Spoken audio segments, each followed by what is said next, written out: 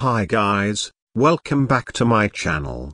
Don't forget to subscribe for more updates as we explore the latest news from Intel Groups and developments in Iraq's financial and oil sectors. Electronic payment and debit card expansion An interesting article from Intel Group MN points out that Iraq is now issuing international debit cards that can be used globally, including in the US. This move represents a significant shift toward electronic payments and signals readiness for Iraqis to access a more integrated global financial network. The exchange rate on these transactions will be determined by the currency exchange or the Central Bank of Iraq's CBI, official rate, depending on the link to the bank. Update on oil and gas law and governance According to an article shared by Intel G. Samson, the oil and gas law is once again a priority, with MPs from Basra urging a resolution to what they describe as governorate injustice. This law is crucial for defining the equitable distribution of oil revenue across Iraq, especially in oil-rich regions.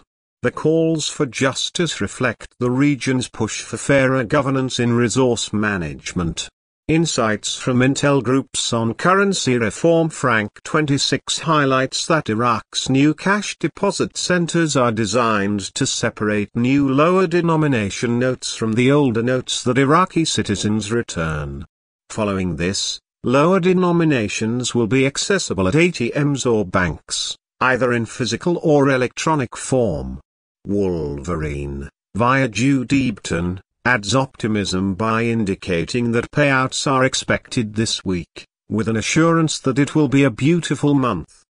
Magi, via PDK, also points out that, based on recent updates, different rates and banking opportunities could be seen by November 6, aligning with other financial developments in the country.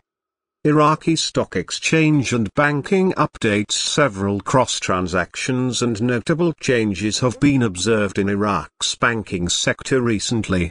On October 21, a cross-transaction occurred on 14.9 billion shares of Economy Bank, valued at IQD 3.9 billion, representing 5.7% of the bank's capital.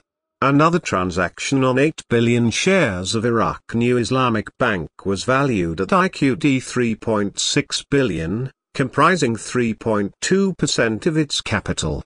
Alam Islamic Bank is set to trade in the OTC market on October 27 after finalizing shareholder registration while SU Commercial Bank resumed trading on October 22 following its AGM postponement.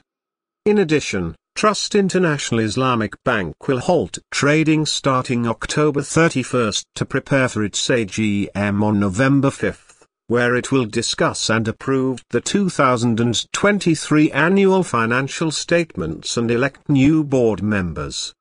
Iraq's oil sector and export highlights The Iraqi Ministry of Oil announced that September oil exports totaled 99 million barrels. This comes after revealing that the first half of 2024 saw 600 million barrels exported a 3.77% increase compared to the same period in 2023. These numbers showcase Iraq's vital role in the global oil market and its continuous growth in exports.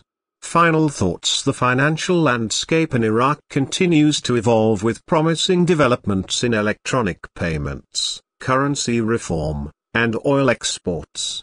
If you enjoyed today's update, be sure to like, share, and subscribe to stay informed on the latest news.